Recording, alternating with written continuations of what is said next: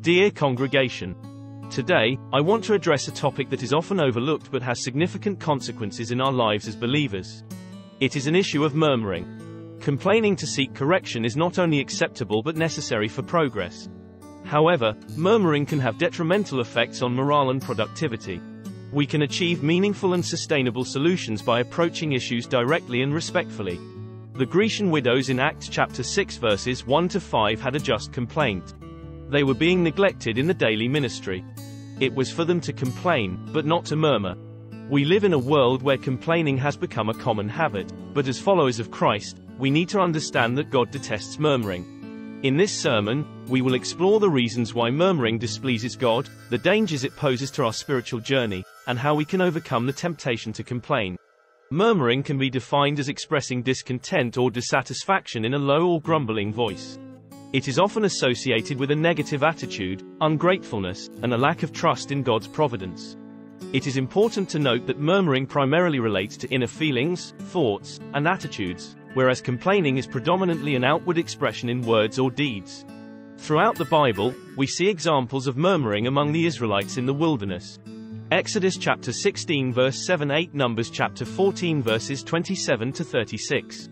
The Israelites murmured about various things during their journey to Canaan. Some of the common complaints included the lack of food and water, the hardships of desert life, the desire to return to Egypt, and the challenges of leadership. These murmurs often expressed their frustrations and doubts, testing the faith and patience of both the Israelites and their leaders. The spies sent to explore Canaan reported the presence of giants.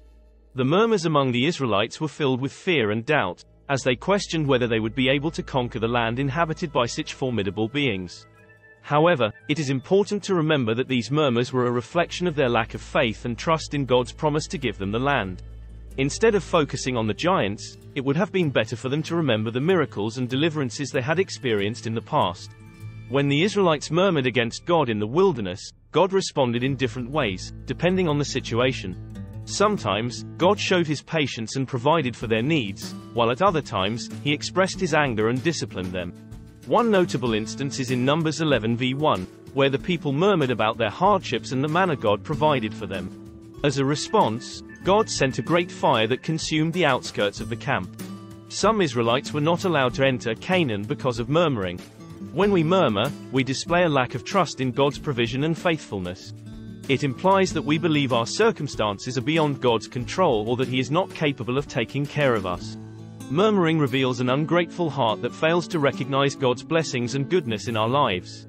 Rejoice always in the Lord, Philippians 4 verse 4. Murmuring blinds us to the countless ways God has provided for us and focuses only on what we perceive as lacking. It is often a manifestation of disobedience to God's commands. Philippians chapter 2 verse 14 instructs us to perform all tasks without complaining or disputing. When we murmur, we go against this command and disregard the Lord's desire for us to have a grateful and content heart. Murmuring not only affects our relationship with God but also poisons our relationships with others. It spreads negativity, breeds discontent, and creates division within the body of Christ.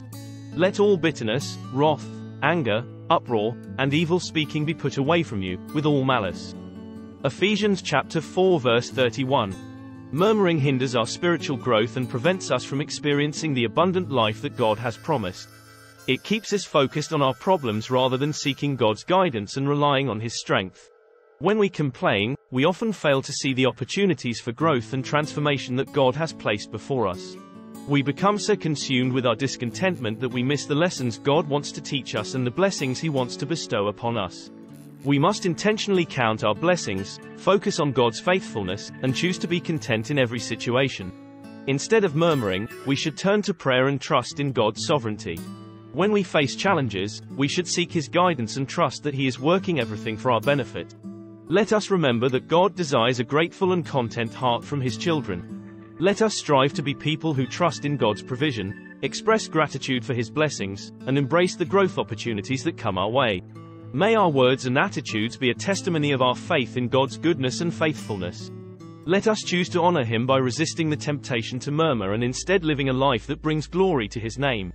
Thank you for watching this video. Please press the like button, smash the subscribe button, share, and leave a comment.